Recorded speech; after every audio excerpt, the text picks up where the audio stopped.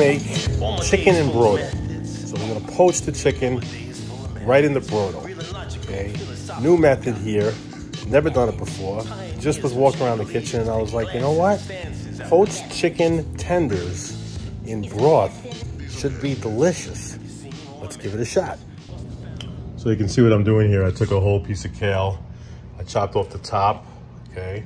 And now I'm taking the stem out here and just taking these leaves off. So you can just do that with your hand. You can just literally rip it right off, like with your hand, you see? You don't even need a knife, or you can do it with the knife. Either way, okay? You wanna get it off, just like that. I'm doing it with one hand here.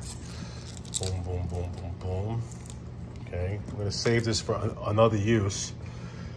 But for this poached chicken, this chicken and brodo, I'm gonna cook these in the brodo. I'm gonna serve the chicken, uh, the chicken tenders right on top of these kale leaves. I'm gonna chop this up and put it inside the brodo. This was just for an example.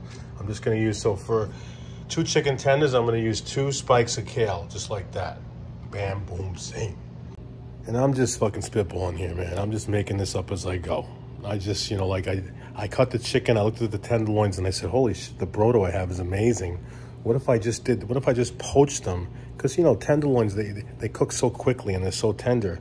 If you poach them to a perfect temperature, okay, they're quite delicious. And if they're in the brodo, that little bit of saltiness, I'm gonna definitely make the brodo a little salty and get some Parmigiano cheese in there as, as well and serve it right over these pieces of kale.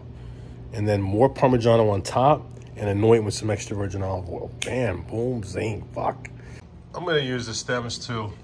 I split them in half and now I'm gonna chop them super fine and I'm gonna put them into the broth also. It's gonna be amazing. Why not? Use it all. So three, basically three stems of black kale, utilizing 100% for this dish.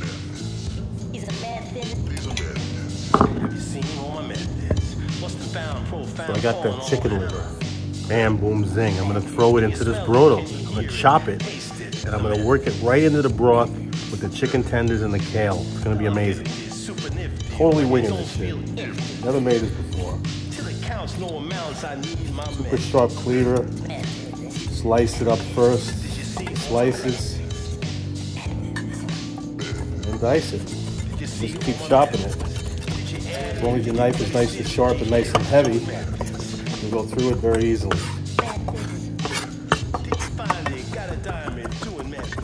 Chop it super fine.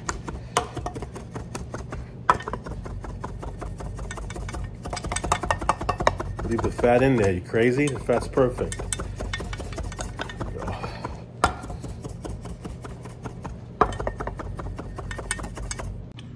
So of course we're gonna start with the so of course we're gonna start with the killer brodo. Look at this brodo.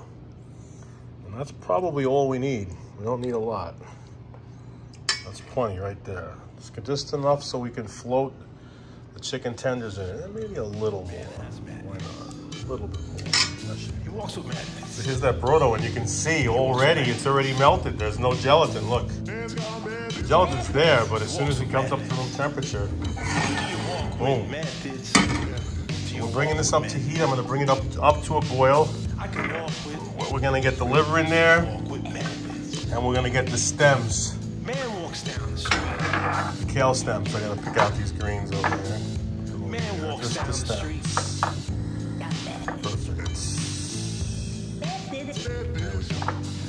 The stems will go in as soon as it comes to a boil, which is gonna be very soon. So we're utilizing all this stuff. Bam, boom, zing. Here we go, up to a boil. Get the stems in there, just like that.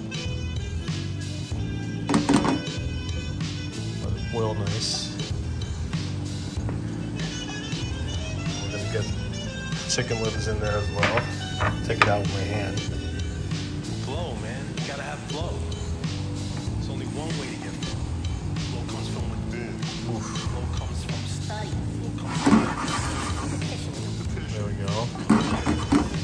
Boiling it down. I'm go a little bit longer to make sure that those stems are nicely cooked. What am I looking for? It's always the most important. Now we're gonna add in the green, Time doesn't exist. like that. Put the chicken right on top of that. About time. just like that. Now we're gonna go on low heat. Okay, and we're gonna cover it. Connect yourself to the fish. Just like that. Connect yourself to the See what's happening? We're gonna steam it. penetrating the roof of the Now, I'm gonna add in all of it. feel it. Smell it. the kale. Smell it. Taste it. Cover it again. First, I'm gonna flip it.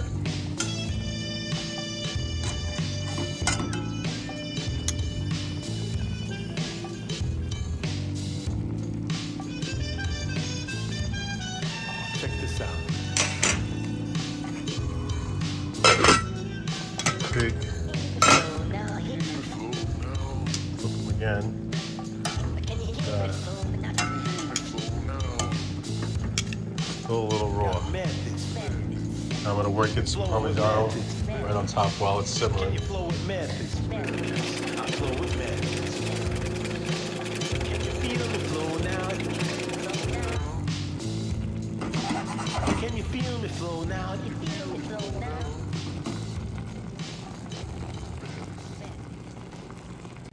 Now? I'm gonna melt some black salt right on top of this, right from the top down. There's no salt in that brodo, no salt in the chicken whatsoever, and now I'm gonna put it from the top down.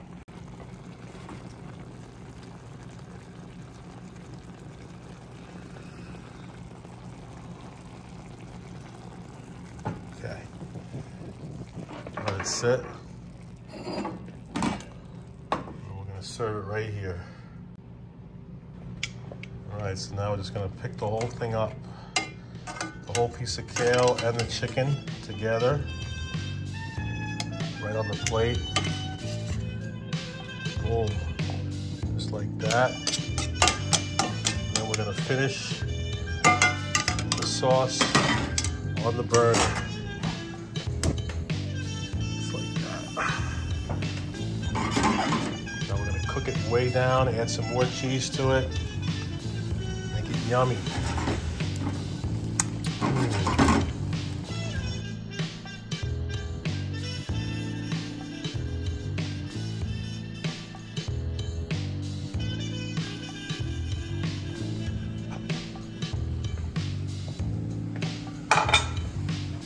The heat.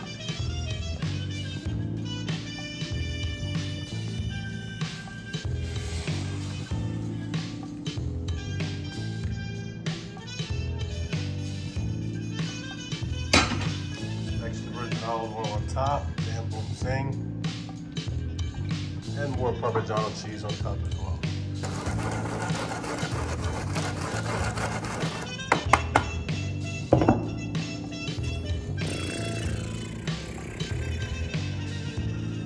Whoa, looks great. Let's try it. Looks very homey, huh? It's all kale, chicken, Parmigiano, and chicken broth. Here we go. Let's try that all together. Look at that chicken. See the black salt that melted into the top? Oh, Let's give it.